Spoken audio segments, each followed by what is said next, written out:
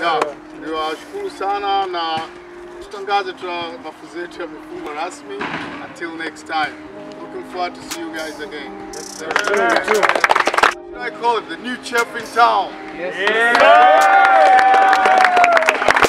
Keep that energy rolling, man. Keep that energy rolling. that, and we really got into the moment of what you guys needed within that moment. And we believe these five days have been very, very,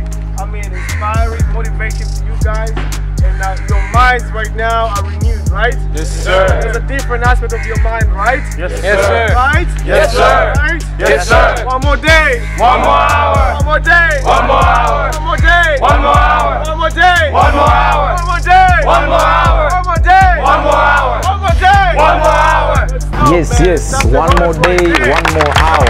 Hiyo ndo kauli mbiu ambayo ilikuwa inafanyika, ambayo ilikuwa inasema kwenye boys camp ambayo ya Match Basketball ambayo ilianza tarehe 23 mwezi huu wa Juni mpaka tarehe 27 mwezi wa Juni, ambao kikomo yake ilikuwa ni June uh, siku ya Jumamosi. Phineas ana mpango wa kuanzisha kempu nyingine Julai ambayo itakuwa inaitwa Shiga Game.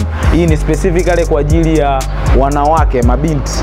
Ligi ya RBA Dar es Salaam inaanza Julai 4 na Jumamosi kilikuwa ndo kikao cha Presidential Council ambacho kimezungumza kwa undani ligi itafanyikeje na principles zipi ambazo zitafanywa, kwa sababu tukumbuke kwamba hii ni dharura ni ligi ambayo inafanyika kipindi cha dharura ndani ya miezi miwili au mitatu ligi inatakiwa iishe so kuna vitu vipya ambavyo katibu mkurugenzi wa ufundi ndugu haleluya kavalambi atatuelezea kwa undani zaidi ni nini ambacho kilikuwa kimefanyika.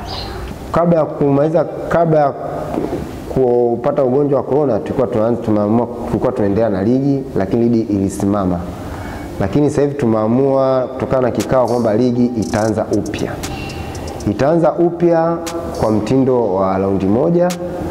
Baada ya hapo tutakwenda kwenye playoff.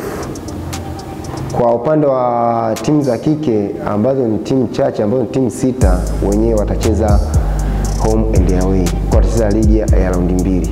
Lakini katika muda huo ambao watacheza boys raundi moja.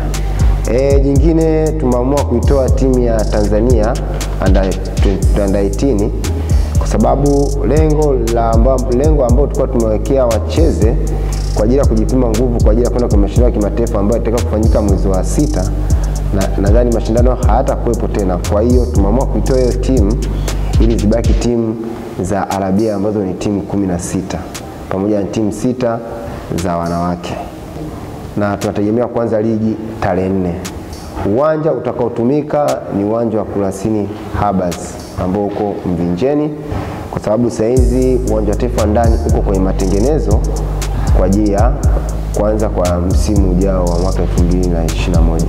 usikose kesho ambapo tutatizama kwa undani zaidi usajili jinsi ambavyo utafanyika kikao kilivyozungumza. Usajili utakuwaje kwenye hii ligi ya RBA Dar es Salaam ambayo inaanza Jumamosi Julai 4 RBA is back baby. Mambo ni moto moto mambo fire.